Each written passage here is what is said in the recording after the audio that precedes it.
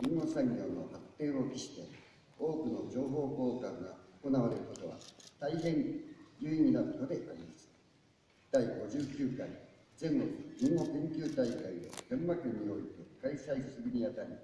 受け入れにご尽力をいただいた群馬県園芸協会並び関係者の皆さんにまずもって厚く御礼申し上げます。